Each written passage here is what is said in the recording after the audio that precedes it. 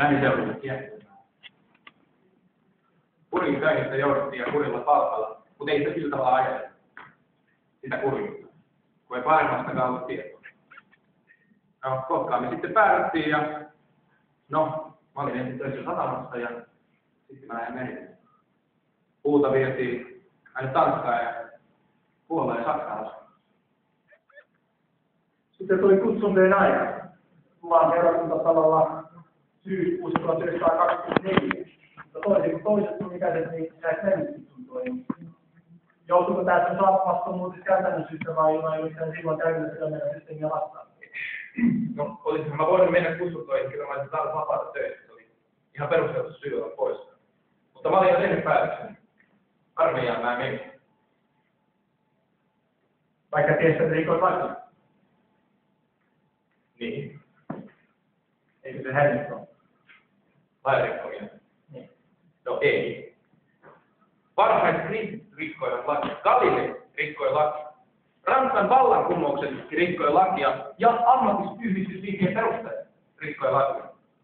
Mä en, ei. Mä en tulisi olemaan viimeinen enkä ensimmäinen, joka asettaa oman puolelle.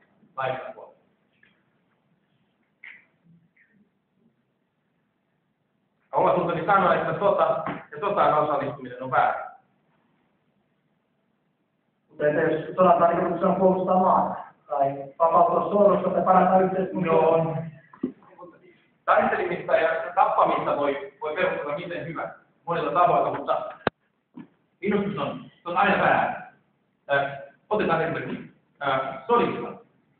Kumpikin osapuoli perustelee toimintansa hyvän kehittämisellä, hyvän puolustamisella tai sen, tai sen le, levittämisellä. Mutta tosiasia on, että hyökkääjä sanoo, tulee, tulee sun puolustus, tulee äh, vapauttamaan kansan pahan ikeen. Ja puolustaja taas sanoo suojelevasti kansan pahan. Kumpikin sanoo haluavansa hyvää, mutta tosiasia on, että sota, juuri se sotiminen on paha. Sotiminen on pahuutta, niin eikö sitä tekee pidä taas loppumaan hyvin nopeasti milloin millä hyvänsä. Jos jossain vaikka tapahtuu kansanmurha, niin se ole kansallinen yhteisön velvollisuus mennä väliin ja opettaa sen niin ei. Niin, no, vaihtoehtoja on monia ja paljon muitakin kuin pelkkä sivusta katsominen tai sotilaallinen voimakkuus.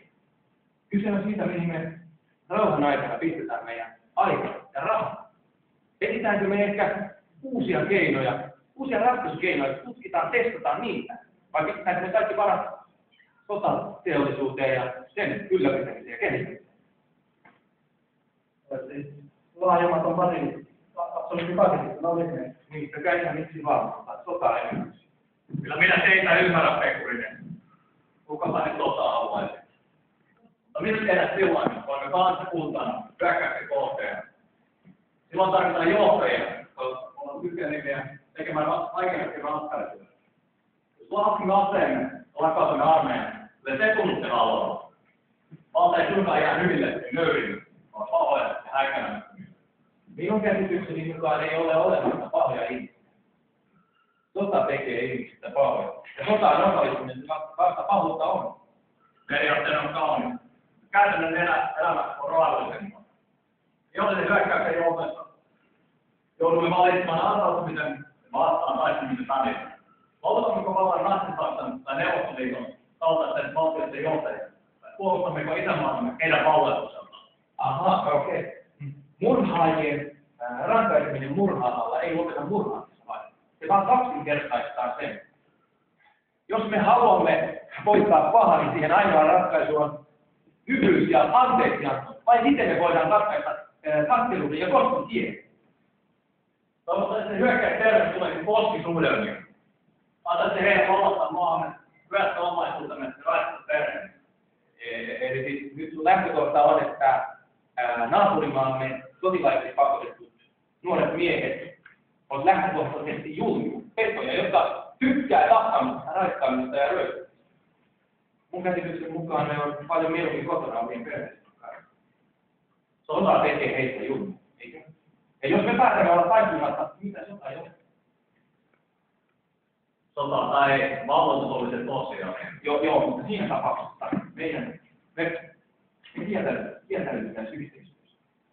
Me ei antauduttaisi, taivuttaisi, eikä me tunnustettaisi sellaisen tahon valtaa.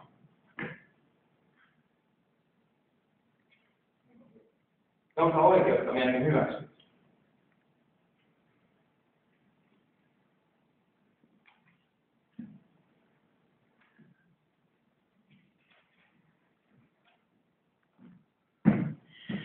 Nyt se saatana ajatus. Varsinkin se tuskin on mikään muotiin tuolla 20 No ei ole. Vaikea sanoa, tota, mietiskeli aika paljon, varmaan kirjoista, Tolstoi. Se opetti mua lukemaan raamattua ihan uudella tavalla. Ja Järventelin kirjoitukset taas todisteet, hän on ainoa Suomessa, jolla on raamatun aamu. Tämä tässä raamatussa. Meidän meidän raamattu. Raamatussa erityisesti vuorosaana on minulle tärkeä. Teille on opetettu silmä silmästä, hamma hammaa. Mutta minä sanon teille, älkää tehkö pahalle vastarintaa. Jos, jos joku lyö sinua oikealle poskelle, käännä hänelle vasenkin. Jos joku yrittää oikealta käymällä viedä sinulta painan, anna hänelle viikon. Jos joku vaatii sinut mukaansa virstan matkalle, kulje hänen kanssaan kaksi. Anna sille, joka sinulta pyytää, äläkä käännä selkääsi sille, joka haluaa lainata sinulta. Teille on opetettu rakasta lähimmäisesti ja vihaa vihamia. Mutta minä sanon teille, rakastakaa vihamiehiänne ja rukoilkaa vainoajienne puolesta, jotta olisitte taivaallisen isänne lapsia. Hän antaa aurinkonsa nousta niin hyville kuin pahoille ja lähettää sateen niin hurskaille kuin ju- jumalattomille. Jos te rakastatte niitä, jotka rakastavat teitä, minkä palkan te siitä ansaitsette? Eivätkö publikaanitkin tee niin? Jos te tervehditte vain ystäviänne, mitä erikoista siinä on? Eivätkö pakanatkin tee niin? Olkaa siis täydellisiä, niin kuin teidän taivaallinen isänne täydellinen. Mutta kaikkein tär- tärkein kirjoitus on tämä. Se on ollut mukana koko elämäni ajan ja täällä on kaksi raamatun jokaisen päivän. Tuosta vuorisanasta pari sanaa, koska sitä on aika paljon väärin tulkittu. Olen itse lukenut amerikkalaisen teologi Walter Winkin tulkintaa siitä ja, ja, ja se on mun mielestä hyvin vakuuttava. Hän sanoo, että, että Jeesus käytti itse asiassa hyvinkin todellisesti tätä väkivallattomuuden periaatteesta. Hän sanoo, että suomenkielisessä käännöksessä lukee, että ei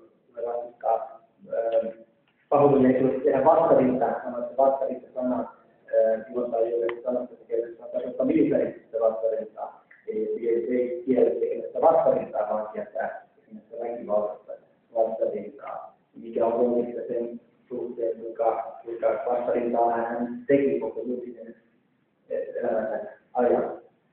Ja sitten nämä kolme esimerkkiä, jos joku toisaalta käydään vanhempi, se joku pyytää sanoa yhtä matkalle kulje kaksi, jos joku pyytää sanotaan paljon piikkasi. Niin tuntuu meistä aivan käsittämättömältä, mutta hän, hän hienosti tulkitti, tulkitti tota, ja selitti ne. Ja, ja se ensimmäinen, siinä lukee, jos joku lyö sinua oikealle, mutta eihän, eihän näytetään jotakin oikealle poskelle. No se ylös ja, ja meillä nyrkkivät tästä ja jotakin oikealle se on, se on mun vasen. Kaikki tekee tällä Nós vamos fazer aqui, eu vou fazer uma hora, vai